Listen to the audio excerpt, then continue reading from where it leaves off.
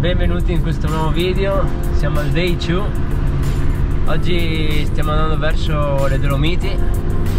Avremmo dovuto fermarci un giorno in più qua per fare Mortirolo e Gavia Però purtroppo tra due ore danno pioggia Dunque abbiamo deciso di spostarci verso le Dolomiti. Faremo un giorno in più là.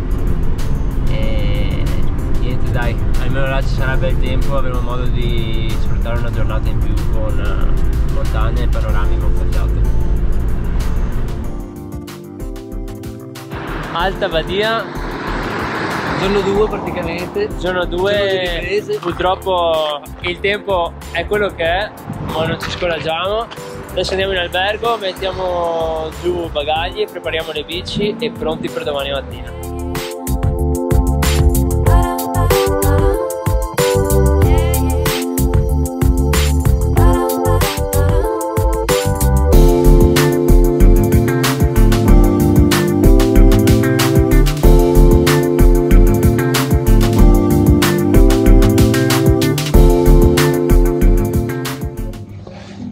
Buongiorno a tutti ragazzi, day 2, mascherina per il covid. E vi porto a fare colazione.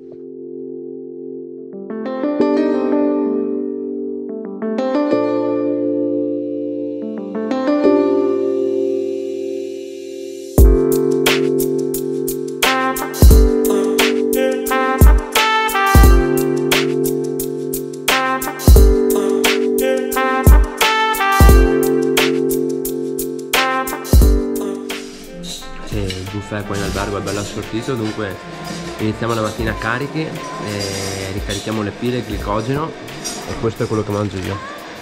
Dopo due fette biscottate con un po' di marmellata, qua abbiamo dello yogurt magro con dei muesli e della frutta secca e ovviamente quello che non può mancare è un buon caffè lungo. È arrivato anche il Dani, colazione anche per lui. Quali sono le sensazioni per oggi? Positive, alla fine si parte con una piccola colazione, piccola che comunque deve essere sostanziosa. Però Cosa stai mangiando?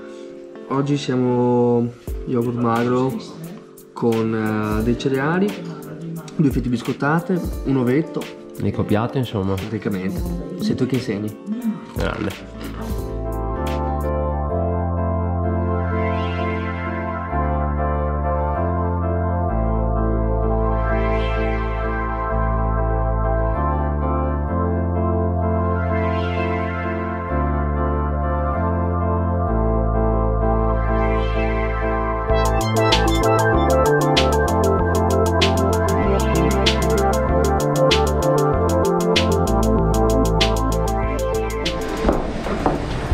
Eccoci qua, pronti, bici già preparata e si parte.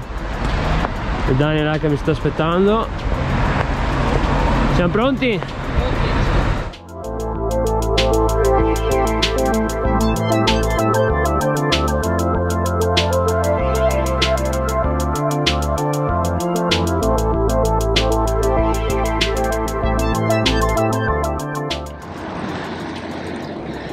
Menù del giorno. Iniziamo con Valparola. Passo al parola. Passo Valparola. Esatto. Quanto fa? No. Sarà una Bella domanda. Allora, come sapete, per chi non lo sa, il nuovo Garmin ha messo le funzioni che in base al percorso che fai ti dice tutte le informazioni sulla salita. Dunque Valparola dovrebbe essere all'incirca all'incirca quanto? Eh, 7?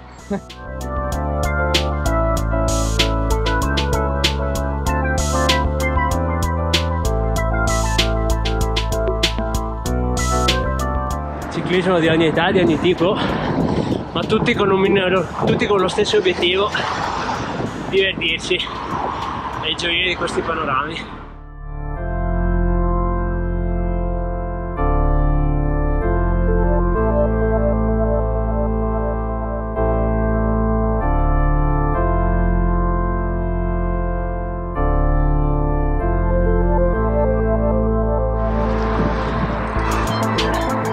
Siamo quasi alla fine del Valparola. per chi non lo sapesse, quando ci si allena in altura i primi giorni sono un po' più difficili, un po' più faticosi e questo è dovuto al fatto che man mano che si sale con eh, l'altitudine cala la pressione e di conseguenza c'è meno ossigeno. Questo fa sì che ad ogni respiro vengono inalate meno particelle di ossigeno e questo rende tutto più intenso. Ovviamente per noi è il secondo giorno e diciamo che stiamo accusando un po' questo effetto. Assolutamente. Però ovviamente passati i primi due o tre giorni di compensazione dovrebbe essere tutto in discesa visto che si avranno i primi benefici. Questa è anche una tecnica che ho data, usata dai professionisti, quello di fare i ritiri in altura in maniera tale da abituare il corpo ad allenarsi in presenza di meno ossigeno.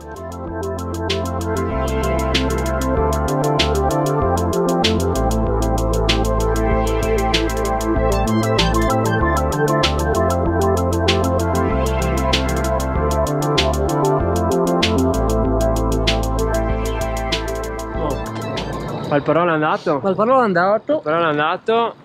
Adesso ci fermiamo due secondi e mangiamo un paninetto. Che può asciugarsi al sole per non congelare in discesa. Sì, perché adesso dobbiamo fare il falzarego. Falzarego in discesa fino a Caprile e poi il passo Fedaia.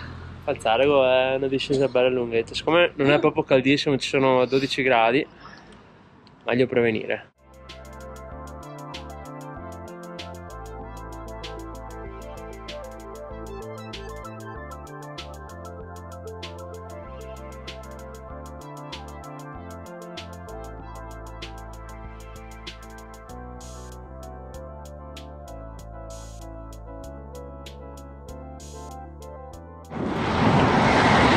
Ripartenza. Adesso abbiamo passo falzare in discesa fino a Caprile dunque è un bel discesone. La giornata è bellissima col sole. E la prossima salita sarà passo Fedaia. Passo Fedaia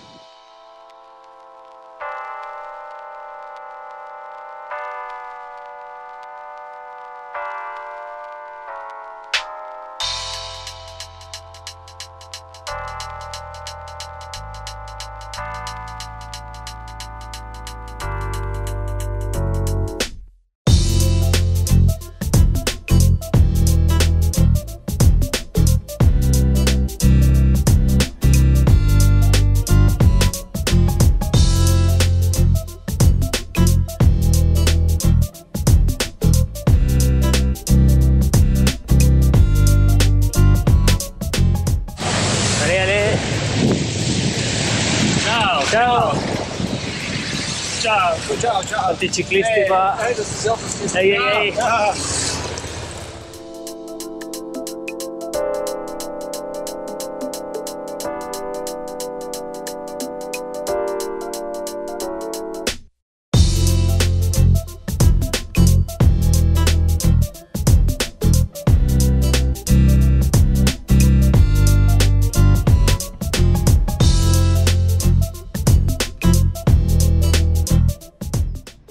Allez, allez, allez, allez. Allez.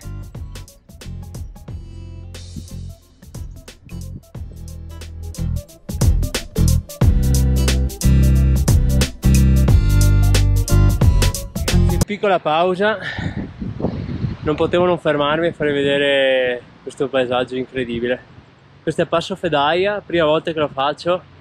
Le ultime rampe sono devastanti, inclinazioni proprio proibite e giudicate voi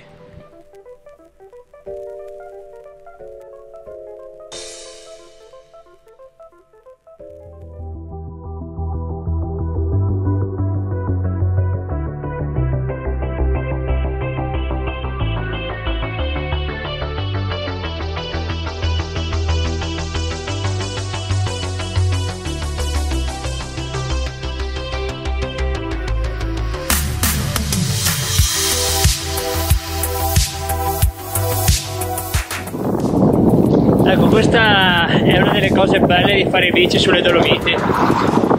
Lago di Fedaia. colori incredibili paesaggi mozzafiato comunque se avete occasione passate per di qui perché non ve ne pentirete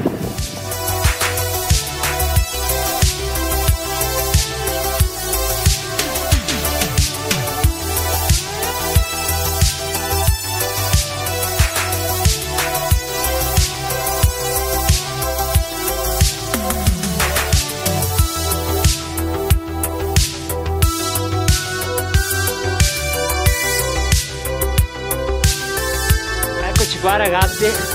Appena finito la salita di Passo Fedaia volevo condividere con voi questa vista pazzesca.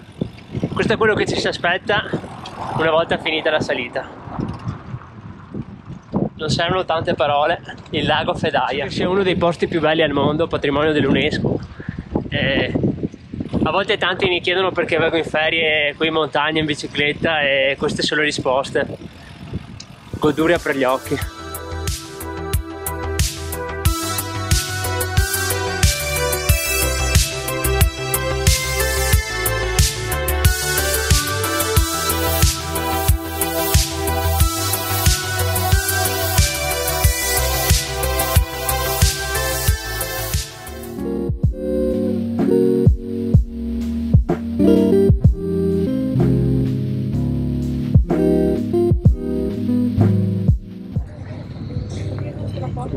pausa pranzo ragazzi. Ora siamo a 3 ore di attività. 2000 metri di slivello completati con 70 km dunque ovviamente bisognerà fermarsi a mangiare qualcosa per ricaricare le pile. Altrimenti altrimenti finisce male. Finisce male. Dunque pizzettina margheritina per stare light. Cocchino e dopo ci facciamo anche un caffettino per avere un po' più di boost e niente comunque buon appetito e ci vediamo dopo in sella